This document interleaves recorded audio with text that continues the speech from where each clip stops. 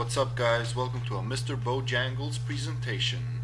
Uh, I watch Honcast a lot and I thought I would do my own little um, commentary on a Hon game. So here I just picked some random game. I just typed in Chew in the statistics and I uh, took any random game that uh, was over like 30 minutes long. So I'm gonna give it a try and uh, leave a lot of comments and tell me what you think about it, okay?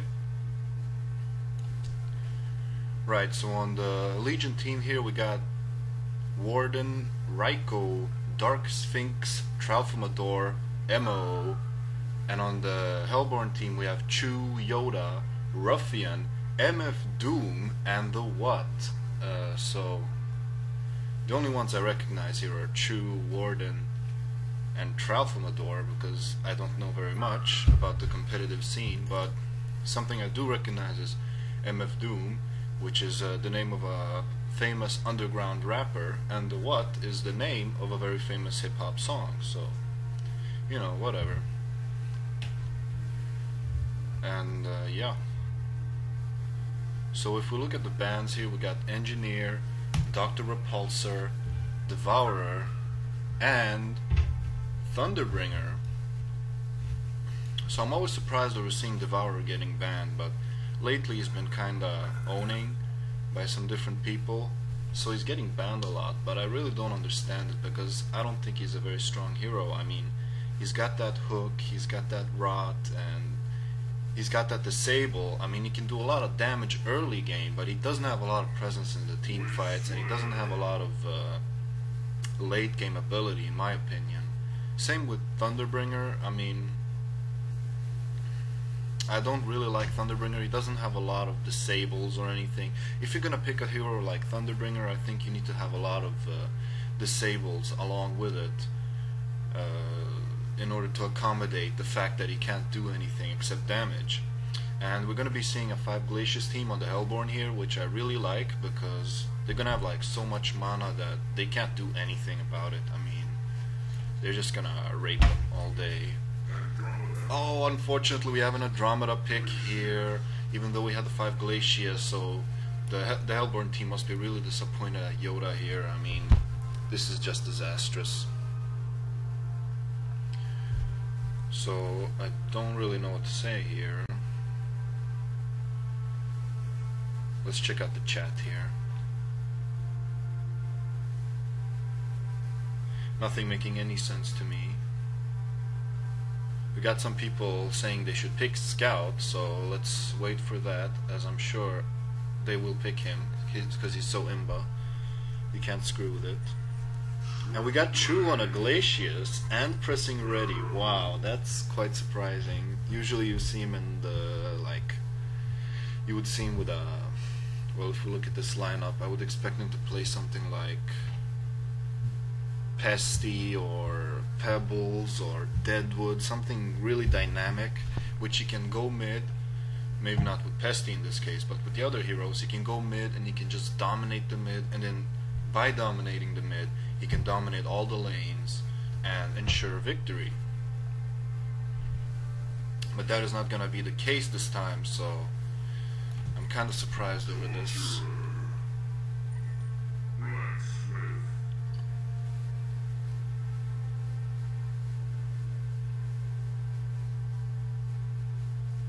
Right, so I really I really hope that Defiler gets picked because he's my favorite one of my favorite heroes and I think Defiler is such a good hero. I think people really underestimate Defiler.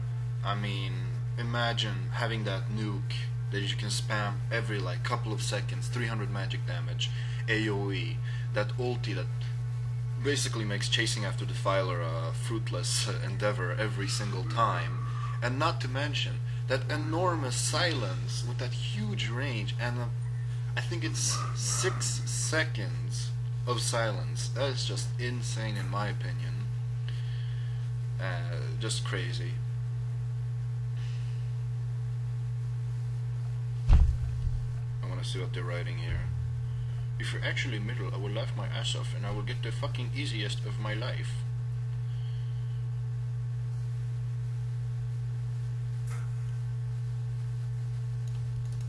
So uh, I'm gonna just look at the heroes here a little bit.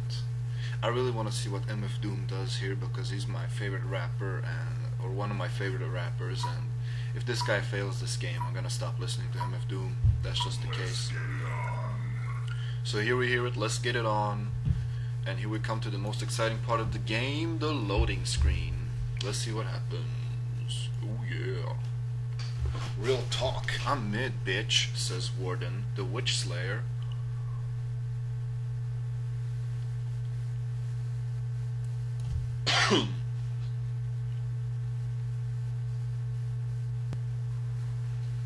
Alright, here we go.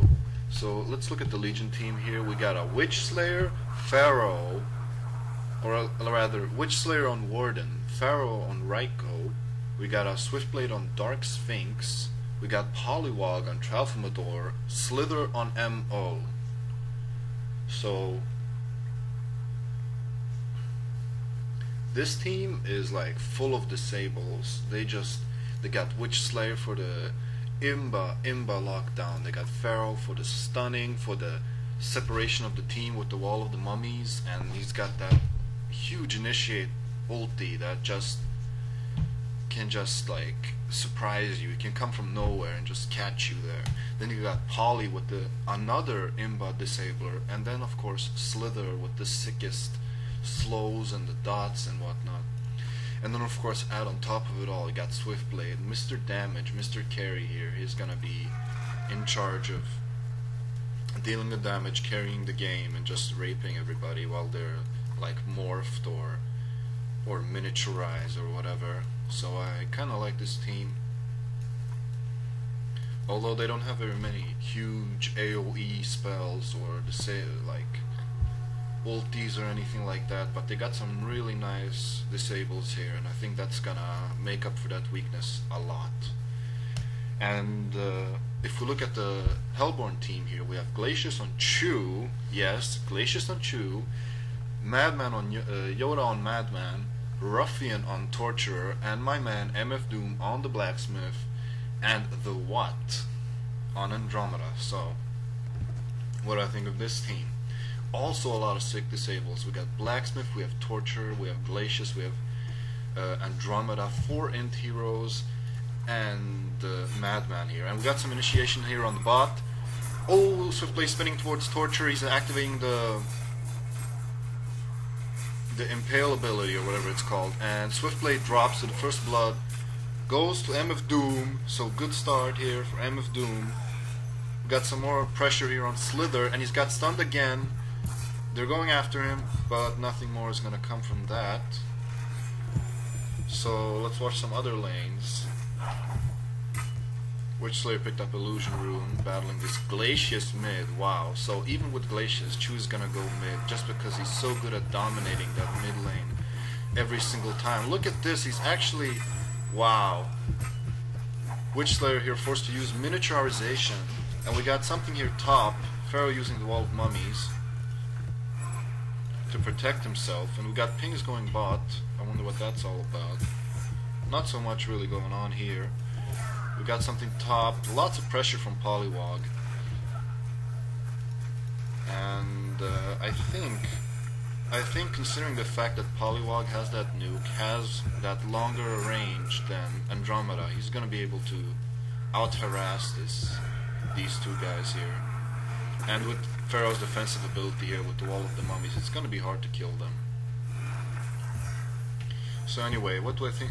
I've seen a lot of this going on where a team they'll pick four like int heroes which don't do a lot of damage, don't do a lot of stuff. Initiation hero Swiftblade, one hit, not gonna go down. We got counter initiation on Blacksmith here, Slither throwing out some poison on people, straight poisoning people. Stop doing that, man. MF Doom is dropping low. Please stop.